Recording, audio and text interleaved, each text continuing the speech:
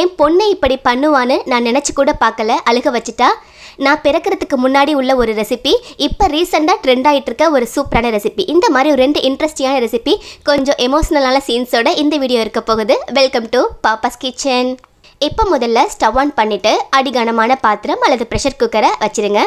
அடுப்பு வந்து குறைவான தீயில தான் இருக்குது இப்போ இதில் ஒரு டீஸ்பூன் மட்டும் நெய் சேர்த்துக்கிறேன். சேர்த்துட்டு அந்த ப்ரெஷர் குக்கர் ஓரங்களில் அடிப்பகுதியில் எல்லாத்துலேயும் அந்த நெய் இருக்கிற மாதிரி நல்லா இந்த மாதிரி ஸ்ப்ரெட் பண்ணி விட்டுருங்க. இப்போ இதை லாக் பண்ணாமல் நார்மலாக மேலாக அந்த ப்ரெஷர் குக்கர் மூடியை வச்சிடலாம். அடுப்பு குறைவான தீயில தான் இருக்குது அப்படியே இருக்கட்டும். அதுக்கடையில் நம்ம வந்து மற்ற பொருட்கள் எல்லாம் செய்ய ஆரம்பிச்சிடலாம். இந்த ரெசிபி ரொம்பவே பழமையான ரெசிபி நான்லாம் பிறக்கிறதுக்கு முன்னாடி எங்கள் அம்மா காலத்தில் எங்கள் பாட்டி காலத்துலேருந்தே செஞ்சுட்டு வரதா எனக்கு தெரியும். ஆனால் இப்போ வரைக்குமே எங்கள் ஊர் சைடு எங்கள் கிராமங்கள்ல எல்லாம் கண்டிப்பாக இந்த ரெசிபி அடிக்கடியே ரொம்ப ஸ்பெஷலாக செய்வாங்க. அதுக்கு முதல்ல இந்த மாதிரி உலக்கு படியெல்லாம் வச்சுருப்போம்ல அரிசி அளக்கிறதுக்கு. ஸோ அதில் வந்து குட்டி உலக்கு இருக்கும். அதில் தான் அந்த காலத்தில் மெஷர் பண்ணுவாங்க. அதில் தான் வீட்லேயும் செய்வேன். அதை மெஷர் பண்ணி பார்த்தோன்னா அந்த ஒரு உலக்கு வந்து அரை கப் மெஷரிங் கப் இருக்குல்ல. ஸோ அதில் வந்து சரியான அளவில் இருக்குது ஸோ உங்ககிட்ட மெஷரிங் கப் இருந்ததுன்னா அரை கப் அளவில் எடுத்துக்கோங்க. அது வந்து பர்ஃபெக்டாக இருக்கும் உங்களுக்கு. இந்த ரெசிபிக்கு அந்த அளவுகள் எல்லாம் ரொம்ப ரொம்ப முக்கியம். அவங்க இந்த உலக்கு வச்சு முட்டை ஓடு வச்சு இந்த மாதிரி தான் மெஷர் பண்ணிக்குவாங்க. நம்ம இப்போ மெஷரிங் கப்பில் வந்து மெஷர் பண்ணியிருக்கோம் அவ்வளோதான் ஸோ இப்போ ஒரு உலக்கு சுகர் எடுத்திருக்கேன். அதே அளவு ஒரு உலக்கு வந்து அரிசி மாவு. இந்த அரிசி மாவு வந்து இடித்து வறுக்கிறது ரொம்ப ஸ்பெஷலாக செய்வாங்க. இப்போயுமே சின்ன சின்ன ஊர்களில் கிராமப்புறங்கள்ல எல்லாம் கண்டிப்பாக வந்து இடியப்பம் வந்து இந்த மாதிரி இடித்து வறுக்கிற மாவில் தான் செய்வாங்க. அவ்வளோ சாஃப்டாக பஞ்சு மாதிரி பூ பூவாக இருக்கும் இடியப்பம். ஸோ அதை பயன்படுத்தி தான் எல்லா பலகாரமுமே செய்வாங்க. அதே மெத்தடில் செய்யக்கூடிய மாவில் தான் இந்த பூவடையுமே நல்லாயிருக்கும் நாம் நார்மலாக கடைகளில் வாங்குற இடியப்ப மாவில் வந்து அவ்வளோ பர்ஃபெக்டாக வராது. ஸோ என்கிட்ட இடிச்சு வறுத்த இடியப்ப மாவு இருந்தது. அதையுமே வந்து ஒரு உலக்கு வந்து எடுத்துக்கிறேன் நான். உங்கள் அம்மா பாட்டிமார்கள்ட்ட கேட்டிங்கன்னா தெரியும். இந்த மாதிரி அவங்க கிராமங்கள்லாம் இந்த மெத்தடில் தான் இப்போயுமே வந்து இடியப்பம் செஞ்சுட்டு இருப்பாங்க. கேட்டு பாருங்க. இப்போ செய்ய ஆரம்பிக்கலாம். இப்போ ஒரு மிக்சிங் பவுல் எடுத்திருக்கேன். அதில் வந்து ஒரு முட்டை சேர்த்துக்கலாம். ஒரு முட்டையை நீங்கள் ரெண்டாக உடச்சி ஊற்றாம ஏன்னா இந்த முட்டை ஓடில் வந்து நம்ம தண்ணீர் மெஷர் பண்ணி எடுக்கணும். ஸோ அதனால் மேலாக மட்டும் அந்த ஓடை எடுத்துகிட்டு முட்டை உடச்சி பவுலில் சேர்த்துக்கலாம். அண்ட் இதே ஓடுலையே உங்களுக்கு வந்து தண்ணீரும் நம்ம மெஷர் பண்ணிக்க போகிறோம் ஒரு முட்டைக்கு ரெண்டு கூடு தண்ணீர் அப்படின்னு சொல்லுவாங்க. எங்கள் ஊர் பேச்சு வழக்கில் சொல்கிற இது. ஸோ ஒரு முட்டை பவுலில் சேர்த்துட்டு அதே அந்த முட்டை ஓடுலையே இந்த மாதிரி தண்ணீர் சேர்த்துக்கோங்க நிறையாவே. சேர்த்துட்டு ரெண்டு கூடு ரெண்டு ஓடுக்கு அளவுக்கு வந்து தண்ணீர் சேர்த்துக்கணும். எங்கள் ஊர் ஸ்லாங்லேயே நான் சொல்லிட்டு இருக்கேன். பட் உங்களுக்கு புரிகிற மாதிரி கண்டிப்பாக புரிஞ்சிருக்கும் நம்புகிறேன் இந்த மாதிரி ரெண்டு இது சேர்த்துக்கங்க. அப்போல்லாம் மெஷரிங் கப்லாம் கிடையாது. இந்த மாதிரி தான் ரொம்ப ஈஸியாக மெஷர் பண்ணிக்குவாங்க. இப்போ இந்த முட்டையை பீட் பண்ணுறதுக்கு நம்ம பாட்டிமாரெல்லாம் இந்த மாதிரி ஒரு மரத்தில் வந்து வச்சு தான் பீட் பண்ணுவாங்க. உங்களுக்கே தெரியும். ஸோ அது இருந்தால் கண்டிப்பாக பீட் பண்ணிக்கோங்க. ஆனால் கொஞ்சம் டைம் எடுக்கும்.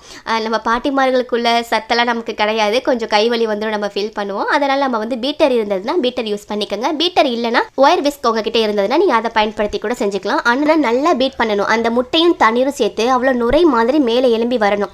அந்த பவுல் முழுக்க வந்து வந்து நிறைஞ்சிருக்கணும். அந்த மாதிரி பீட் பண்ணணும். உங்களால் எவ்வளோ முடியுமோ அவ்வளோ தூரத்துக்கு அந்த மாதிரி பீட் பண்ணிக்கோங்க. அப்போ தான் இந்த ரெசிபி பர்ஃபெக்டாக வரும். இப்போ பாருங்கள் இந்த அளவுக்கு அந்த பவுல் அளவுக்கு ஃபுல்லாக வந்துருச்சு. இந்த ஒரு முட்டையும் கொஞ்சம் தண்ணீருமே. இப்போ இதில் கொஞ்சமாக ஒரு பிஞ்ச் உப்பு. எல்லா ஸ்வீட்டுக்குமே கொஞ்சமாக பிஞ்சஸ் சேர்ப்போம்ல ஸோ அது மாதிரி கொஞ்சமாக சேர்த்துக்கோங்க. கூடவே வாசத்துக்காக ஏலக்காய் ரெண்டு ஏலக்காய் வந்து இடித்து சேர்ப்பாங்க. நம்மக்கிட்ட ஏலக்காய் பவுடர் இருக்குது நான் அதை சேர்த்துக்கிறேன்.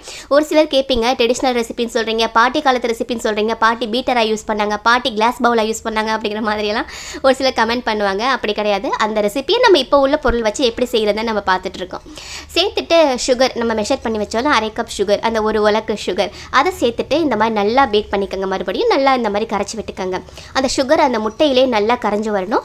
ஸோ அந்த மாதிரி நல்லா கலந்து விட்டுக்கோங்க. நீங்கள் ஒயர் வேஸ்ட் அல்லது பாத்திமா கரையிற மாதிரி அந்த மரத்தில் உள்ள அந்த கடையிற இருக்குல்ல ஸோ அதெல்லாம் யூஸ் பண்ணி நீங்கள் எப்படி வேணாலும் செஞ்சுக்கோங்க. பட் இந்த அளவுக்கு நுரை பொங்க பொங்க வரணும். அதுதான் ரொம்ப முக்கியம்.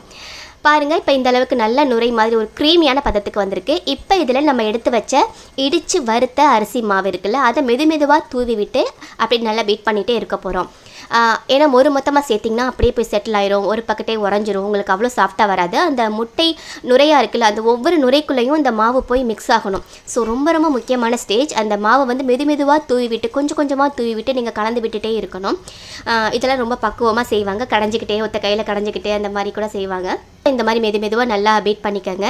அதே மாதிரி கொஞ்சம் கொஞ்சமாக தூவி விட்டு ஒரு ஒரு அஞ்சாறு பேட்சாக நான் சேர்த்தேன் இந்த ஒரு உலக்கு மாவையே. ஸோ நல்லா சேர்த்து இந்த மாதிரி கலந்து விட்டாச்சு. பாருங்கள் ஒரு விப்பிங் க்ரீம் மாதிரி கொஞ்சம் ஸ்டிஃபாக இருக்குது பாருங்கள் கொஞ்சம் இலகலாகவே இல்லை. அண்ட் நம்ம நார்மலாக கேக் செய்வோம்ல அந்த மாதிரியும் இருக்காது. ஒரு விப்பிங் க்ரீம் மாதிரி அவ்வளோ நுரை நுரையாக உங்களுக்கு கொஞ்சம் ஸ்டிஃபாகவே இருக்கும். இதை பார்க்கும்போதே உங்களுக்கு தெரியும். அந்த அளவுக்கு பதம் வரணும். இந்த பதம் வந்தால் தான் உங்களுக்கு ரிசல்ட்டும் ரொம்ப சூப்பராக இருக்கும். பாருங்கள் ரொம்ப சூப்பராக ரெடி ஆயிடுச்சு பார்க்கையிலே தெரியும் உங்களுக்கு எவ்வளோ அழகாக ஸ்டிஃபாக இருக்குது அப்படின்னு. இந்த பக்கம் குக்கருமே வந்து ப்ரீ ஹீட் ஆயிருச்சு. இதுதான் ப்ரீ ஹீட் பண்ணுற மெத்தட் நம்ம அவனில் கேக் செய்யும் போது ப்ரீ ஹீட் பண்ணுவோம்ல ஸோ அது மாதிரியான மெத்தட் ஸோ குறைவான தீயில நல்லா சூடாக வந்திருக்கு குக்கர் இப்போ இதில் வந்து உடனே பீட் பண்ண உடனேயே அந்த அந்த மாவு மிக்ஸ் இருக்குல்ல அதை உடனே சேர்த்துருங்க. கொஞ்சம் கூட தாமதிக்க வேணாம். உடனே சேர்த்துட்டு உடனேயே அந்த குக்கர் மூடி வச்சு மூடிடணும். நம்ம அடுப்பு குறைவான தீயில் வச்சுட்டு செய்ய ஆரம்பிச்சோம்ல ஸோ அப்போ அந்த குக்கர் மூடி குக்கர் எல்லாமே உங்களுக்கு வந்து நல்லா ஹீட் ஆகிருக்கும் ப்ரீ ஹீட் ஆகிருக்கும் ஸோ உடனே நம்ம சேர்க்கும் போது உங்களுக்கு அந்த கேக் அமுங்கி போகாமல் நல்லா ஃப்ளஃபியாக வரும். அதுக்காக தான் நல்லா வெயிட் வச்சு மூடிட்டு அடுப்பை ரொம்ப குறைவான தீயில ரொம்ப சின்ன அடுப்பில் ரொம்ப குறைவான தீயில் வச்சுக்கோங்க. கரெக்டாக ஏழு நிமிஷம் ஏழு நிமிஷத்துலேருந்து எட்டு நிமிஷம் உங்களுக்கு வாசம் வரும் லேசாக ஸ்டார்ட் ஆகும். ஒரு சில நேரம் கூட ரெண்டு நிமிஷம் கூட ஆகலாம். பட் ஏழு நிமிஷத்துலேயே நீங்கள் வந்து உஷாராயிக்கணும் வெந்திருக்குமா அப்படின்ட்டு. இப்போ ஒரு ஏழு எட்டு நிமிஷத்தில் வந்து ஸ்டவ் ஆஃப் பண்ணிடுறேன். ஆஃப் பண்ணிவிட்டு ஒரு ரெண்டு நிமிஷம் அப்படியே விட்டுட்டேன். உங்களுக்கு அந்த வெயிட் எல்லாம் லேசாக ரிலீஸ் ஆகட்டும் அப்படின்ட்டு ஸோ ரெண்டு நிமிஷத்துக்கு அப்புறம் நான் வந்து ஓப்பன் பண்ணேன். நல்லா வாசம் வர ஆரம்பிச்சிருச்சு. ஸோ அதனால தான் நான் வந்து ஓப்பன் பண்ணேன். நல்லா உங்களுக்கே தெரியும் டிஃப்ரென்ஸ் தெரியும். ஓப்பன் பண்ணி பார்த்தோம் அப்படின்னா சூப்பரான நம்மளுடைய பூவடை. இது வந்து பூ அடை அப்படின்னு சொல்லுவாங்க. பூ மாதிரி இருக்கக்கூடிய ஒரு அடைன்னு சொல்லுவாங்க. பட் நாம் இப்போ சொல்லிட்டு இருக்க கேக் தான் இது. ஆனால் அரிசி மாவில் செய்யக்கூடிய ஒரு ஹெல்த்தியான கேக் இந்த மாதிரி ஓரங்களை எடுத்து விட்டுட்டு அப்படியே தட்டையில் கவுத்து போட்டிங்கன்னா பட்டர் பேப்பர்லாம் தேவையே இல்லைங்க. ரொம்ப சூப்பராக உங்களுக்கு அப்படியே வந்து தட்டையில் விழுந்துரும் பாருங்கள் எவ்வளோ சூப்பராக வந்திருக்கு. அடி பிடிக்காமல் ஒட்டாமல் அவ்வளோ சாஃப்டாக இருந்தது. ட்ரஸ்ட் மீ கண்டிப்பாக நீங்கள் ட்ரை பண்ணி பார்க்கலாம். நான் சொன்ன பொருளெல்லாம் உங்ககிட்ட இருந்தது. ஏன்னா அந்த பாரம்பரிய பொருள். இடித்து வறுக்கிற அரிசி மாவு அந்த குட்டி உலக்கு இந்த மாதிரி உங்ககிட்ட இருந்ததுன்னா கண்டிப்பாக ட்ரை பண்ணலாம். ஆக்சுவலாக இது வந்து கொஞ்சம் உயரமான பாத்திரம் கொஞ்சம் ஒடுக்கமாக உயரமாக உள்ள பாத்திரத்தில் தான் செய்யணும். அப்படி செஞ்சால் தான் உங்களுக்கு வந்து நல்லா உப்பி வரும். உங்களுக்கு அந்த பாத்திரத்தில் பாதி அளவு நல்லா உப்பி வந்திருக்கும். நம்ம வீட்டிலலாம் ரெண்டு லிட்டர் ப்ரெஷர் குக்கர் உயரமாக இருக்கும்ல அந்த மாதிரி ப்ரெஷர் குக்கரில் தான் நான் மோஸ்ட்லி செய்வேன். நல்லா பாதி ப்ரெஷர் குக்கருக்கு மேலே உங்களுக்கு உப்பி வந்திருக்கும். பட் இன்றைக்கி ப்ரெஷர் பேனில் செஞ்சுருந்தேன். பேன் அப்படிங்கும்போது கொஞ்சம் அகலமாக இருக்குல்ல ஸோ அதனால் உங்களுக்கு உப்பி வரலை. ஸோ அந்த அகலத்துக்கு வந்து கொஞ்சம் இந்த மாதிரி வந்திருக்கு. ஆக்சுவலாக என்னுடைய மிஸ்டேக் தான். சாஃப்ட்னஸில் கொஞ்சம் கூட குறையலை. இதில் அவ்வளோ பெருசாக உங்களுக்கு வந்து உப்பி வரும். ஸோ அது மட்டும் மிஸ்ஸிங் இன்னொரு பிளாகில் உங்களுக்கு அந்த ரெசிபி மறுபடியும் உங்களுக்கு அந்த உயரமான ப்ரெஷர் குக்கரை செஞ்சு உங்களுக்கு ட்ரை பண்ணி காட்டுறேன். பாருங்கள் எவ்வளோ சாஃப்டாக இருக்குன்னு. அப்படியே உதிர்ந்து வரும். பஞ்சு மாதிரி அவ்வளோ சாஃப்டாக உதிர்ந்து வரும். ஒரு அமேசிங்கான ரெசிபி பாரம்பரியமாக பாட்டி காலத்துலேருந்து எங்கள் ஊர் சைடு எங்கள் ஊர் கிராமங்களில் செய்யக்கூடிய ஒரு ரெசிபி நிறைய இஸ்லாமியர் ஊர்களில் செய்வாங்கன்னு நினைக்கிறேன். உங்கள் ஊரில் கண்டிப்பாக அந்த ரெசிபி இருக்குன்னா கீழே கமெண்ட் பண்ணுங்கள் உங்களுக்கு பிடிக்குமான்னு கீழே கமெண்ட் பண்ணி பாருங்கள் அவ்வளோ சாஃப்டாக இருந்தது. நம்ம சேனலில் ஏற்கனவே சேனல் ஆரம்பித்த புதுசுலேயே வந்து இந்த ரெசிபி நான் அப்லோட் பண்ணியிருக்கேன். பட் அவ்வளோ கிளியராக இருக்காது. ஸோ மறுபடியும் கொஞ்சம் டீட்டெயில்டாக உங்களுக்கு கொடுக்கணும் அப்படின்னு நினச்சி தான் இந்த வீடியோ எடுத்துகிட்டு இருந்தேன். ஸோ எடுத்துகிட்டு இருக்கும்போது மேடம் மறுபடியும் ஒரு பேப்பர் மடித்து வச்சுட்டு போனாங்க. என்ன இது மறுபடியும் மேடம் இது சேடாக இருக்காங்களா அப்படின்ட்டு பேப்பர் ஓப்பன் பண்ணி பார்த்தோம் அப்படின்னா எனக்கு ரொம்ப சர்ப்ரைசிங்காக இருந்தது. ஹாப்பி பர்த்டே மம்மின்னு வரைஞ்சி ஒரு குட்டி பொம்மை அந்த பர்த்டே கேப்லாம் வச்சு வரைஞ்சி கொடுத்துருந்தாங்க. ரொம்ப சந்தோஷமாக இருந்தது. என் பர்த்டேனா அவங்களுக்கு தெரியாது. அம்மா ஃபோன் பேசும்போது சொல்லிட்டு இருந்தாங்க. இன்றைக்கி உன் பர்த்டே இல்லை அப்படின்னு சொன்னாங்க. ஸோ அதை வச்சு அவங்க அந்த மாதிரி எழுதி கொடுத்துருக்காங்க. நிஜமாவே நம்பவே இல்லை. அவங்களுடைய ஃபர்ஸ்ட் விஷ் எனக்குன்னு சொல்லலாம். ஏன்னா இது வரைக்கும் நான் சொன்னது கிடையாது. அவங்களுக்கு என்ன பர்த்டே எப்போன்னு கிடைத்து தெரியாது. வீட்டில் பர்த்டே அப்படிங்கிற வார்த்தையை யூஸ் பண்ண மாட்டோம். செலிப்ரேட் பண்ணாதனால. பட் அவங்க இந்த மாதிரி சர்ப்ரைஸாக எனக்கு கொடுத்த இந்த பர்த்டே விஷ் வந்து ரொம்ப ரொம்ப சந்தோஷமாக இருந்தது. இந்த டே எனக்கு ரொம்ப ஸ்பெஷலானது ரொம்ப ரொம்ப சந்தோஷமாக இருந்தது. அதை விட வீடியோ எடுத்துகிட்டு இருக்கும்போது அவங்க இதை கொடுத்தனால உங்கள் கூட என்னால் ஷேர் பண்ணிக்க முடிஞ்சது. ஓகே ஃப்ரெண்ட்ஸ் இப்போ அடுத்ததாக லஞ்சுக்கு ஏதாவது செய்யணும்னு நினைக்கும் போது ஒரு கடாயில் ஆயில் சேர்த்துருக்கேன். இன்றைக்கி வந்து பிச்சு போட்ட சிக்கன் ரெசிபி தான் செய்ய போகிறேன் இது வந்து ரீசெண்டாக வந்து ட்ரெண்ட் ஆகிட்டு இருக்குன்னு நினைக்கிறேன். சமைக்காத பச்சை கோழி இருக்குல்ல அதை வந்து பிச்சு போட்டு அந்த ரெசிபி செய்வாங்க. அதை விட நான் ஒரு முறை ஃபுல் சிக்கன் கிரில் பண்ணும்போது அந்த நெஞ்சு பகுதி இருக்குல்ல கொஞ்சம் சக்கச்சக்கையாக இருக்கும். ஸோ அதை வந்து வேஸ்ட் ஆகிடக்கூடாது அப்படிங்கிறதுக்காக அதை பிச்சு போட்டு ஒரு முறை வந்து இந்த மாதிரி செஞ்சுருந்தேன். ரொம்ப சூப்பராக இருந்தது. ஸோ அதே மாதிரி தான் இன்றைக்குமே அந்த நெஞ்சு பகுதி சிக்கன் ஃபுல் கிரில் பண்ணோம். அதோடைய நெஞ்சு பகுதியும் வந்து பெருசாக விருப்பப்பட மாட்டோம். அந்த லெக் பீஸ் தான் பெருசாக விருப்ப விரும்பி சாப்பிடுவாங்க பசங்க. ஸோ அந்த நெஞ்சு பகுதியை வந்து இந்த மாதிரி குட்டி குட்டியாக பிச்சு எடுத்திருக்கேன். ரொம்ப இல்லை இந்த மாதிரி ரஃபாக வந்து கட் பண்ணி எடுத்திருக்கேன். ஸோ அதை யூஸ் பண்ணி தான் நம்ம இன்றைக்கி இந்த ரெசிபி செய்ய போகிறோம் ரொம்ப சூப்பராக இருக்கும். நான் ஆல்ரெடி ஒரு ரெண்டு முறை ட்ரை பண்ணியிருக்கேன். ஸோ இன்றைக்கி உங்களுக்காக வீடியோவில் ஷேர் பண்ணிக்கணும்னு தோணுச்சு. இப்போ ஒரு கடாயில் ஆயில் சேர்த்து ஆயில் ஹீட் ஆனதுமே நீளமாக கட் பண்ண வெங்காயம் ஒரு பெரிய சைஸ் வெங்காயம் சேர்த்துருக்கேன். வெங்காயம் லேசாக வதக்கி விட்ட பிறகு தக்காளி சேர்த்து நல்லா வதக்கி எடுத்துக்க போகிறோம் உங்ககிட்ட வந்து இந்த மாதிரி கிரில் பண்ண சிக்கன் தான் இருக்கணும் கிடையாது. இதை நீங்கள் நார்மல் சிக்கன் சிக்ஸ்டி ஃபைவ் செய்யும் போது அந்த சக்க கறி மாதிரி இருந்ததுன்னா நீங்கள் சாப்பிட மாட்டிங்கன்னா அதெல்லாம் கூட வச்சு நீங்கள் யூஸ் பண்ணி செய்யலாம்.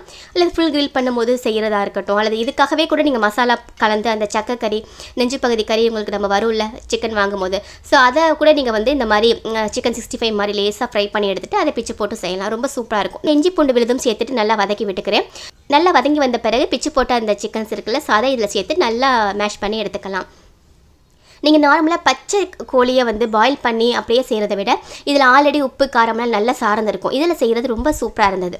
நான் ரெண்டு விதமாகவுமே வீட்டுக்கு ட்ரை பண்ணி பார்த்துருக்கேன். எனக்கு நார்மலாக செய்கிறத விட இந்த மெத்தடில் செய்கிறது ரொம்ப பிடிச்சிருந்தது. ஸோ அதனால் உங்கள் கூட ஷேர் பண்ணிக்கணும்னு தோணுச்சு. கண்டிப்பாக ட்ரை பண்ணி பாருங்கள் இதில் கொஞ்சமாக மஞ்சள் தூள் மிளகாய் தூள் உப்பு கரம் மசாலா எல்லாமே சேர்த்துக்கலாம். நம்ம ஆல்ரெடி வந்து சிக்கன் கிரில் பண்ணும்போதோ ஃப்ரை பண்ணும்போதோ அந்த மசாலாலாம் சேர்த்து ஃப்ரை பண்ணியிருப்போம் ஸோ அதுவே நல்லா அந்த சிக்கனில் வந்து சார்ந்திருக்கும் இப்போ சேர்க்குறது வந்து அந்த அந்த வெங்காயம் தக்காளி இருக்குல்ல அந்த மசாலா கூட மிக்ஸ் ஆகணும் அப்படிங்கிறதுக்காக தான். ஸோ குறைவான தீயில் வச்சுட்டு அந்த மசாலா கூட நல்லா கலந்து விடுங்க. ஒரு பத்து நிமிஷம் அப்படியே நல்லா அமுத்தி விட்டு மேஷ் ஆக விட்டு நல்லா கலந்து விடுங்க.